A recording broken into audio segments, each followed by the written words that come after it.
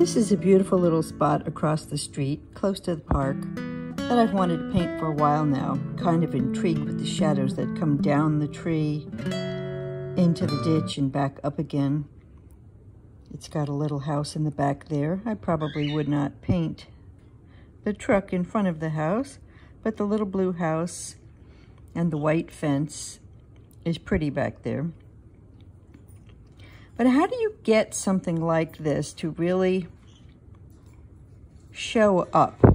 You have to understand, because it's almost all green, your different values, values of green, light, medium, and dark.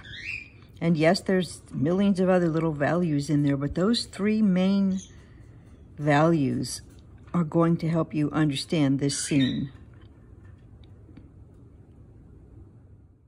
You also have to understand hue as well, and warmth versus cool, because they have to play against each other to really make this painting pop. Here it is where I've taken most of the color out of it, and you can now see mostly the darks and the lights. But it still seems like there's an awful lot of midtones in here. Still kind of confusing as to maybe the main three dark, medium, and light tones that I would need to definitely differentiate to make this stand out properly. So here I've darkened it even more so that I just have dark, medium, and light here. And this helps me understand my photo a little better. I tried to draw it and get my concept in, but I could not get the darks dark enough in this little drawing. But it did help me familiarize myself with the subject and decide where I wanted to put things, what was successful and what wasn't in this little sketch, so that when I prepare myself to actually do the painting, hopefully I will be ready.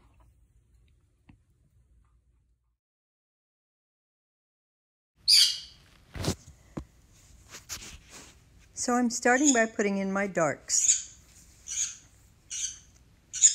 Trying to squint my eyes. Don't pay attention to what is actually there, what the scene is, but just put darks where darks belong.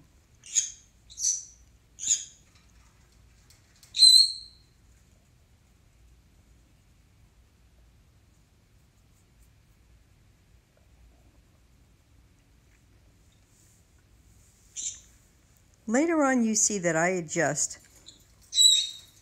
the shape of this ditch just a little bit to make it work better for my painting. Why? Because the ditch is kind of straight like a hot dog bun. And I don't think that's very pleasing, so I zigzag it just a little. And you'll see that in the photo. Here I'm putting my mediums in now.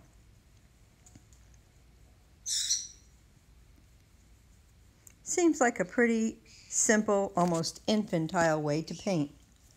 And the beginning of most paintings is kind of infantile.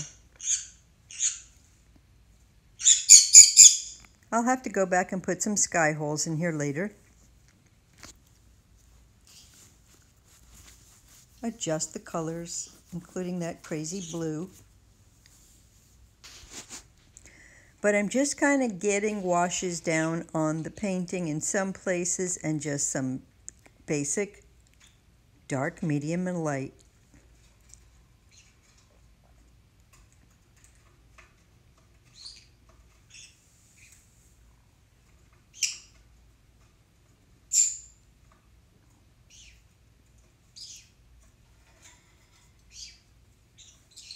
Putting in just a little where the blue is, where the house is, and scraping it out later so that it's not quite so dark. There you go. There's a little of that blue over on the fence there. Part of this will be wrapped around a stretcher board, so you won't see all the corners, and I have to try to remind myself that, not put anything important somewhere where it's not going to be seen. Here I'm scraping out for my lights now. Taking a little bit of the paint off. I don't need it on real thick. I'll be putting it on again over this.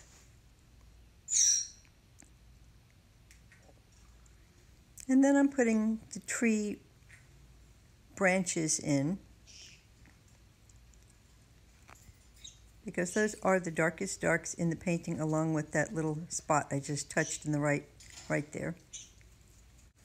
The deep crevice in the ditch here.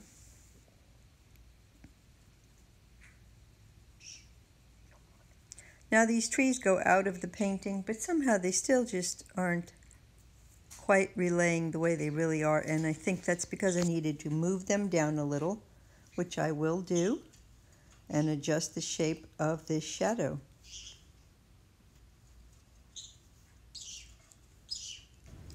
So here I have adjusted a few things in the painting to get them in the right places. And I'll probably let this dry a little bit and then move on to the next stage.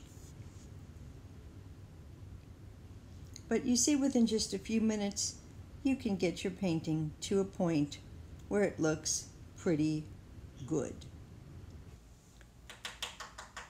So, like all paintings, you reevaluate, you look at it and decide what's working and what isn't. I move my horizon line down a little bit because I think it's up a little too high.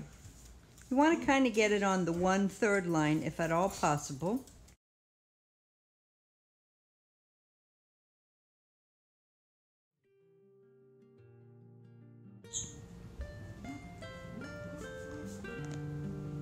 So I have moved it down. You can see the comparison between the two, and I think it works better this way. The one on the left is the new horizon line.